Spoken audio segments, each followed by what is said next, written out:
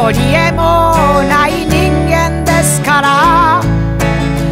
優しさくらいは誰よりも。好きの2文字がまた言えなくて。今度もあの子は誰かのもの。それでも何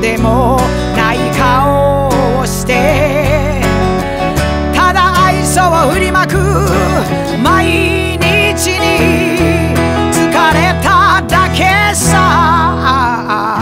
湿っぽい布団で丸くなる。夢は見せないでおくれ。虚しいだけだから。カーテンの隙間からこぼれる朝日は。弱い自分に弱いという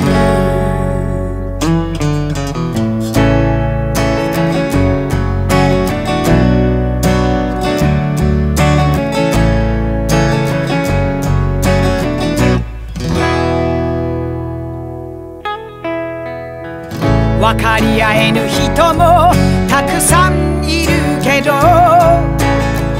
分からぬままでいいじゃな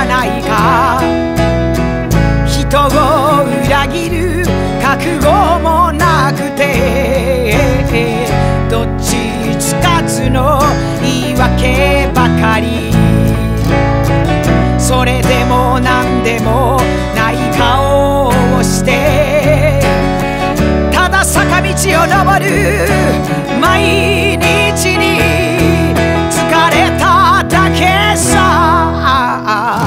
安い焼酎を流し込む。こんな日には昔の友の声でも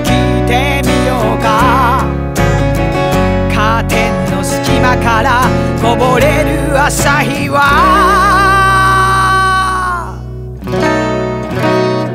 弱い自分を抱きしめる弱い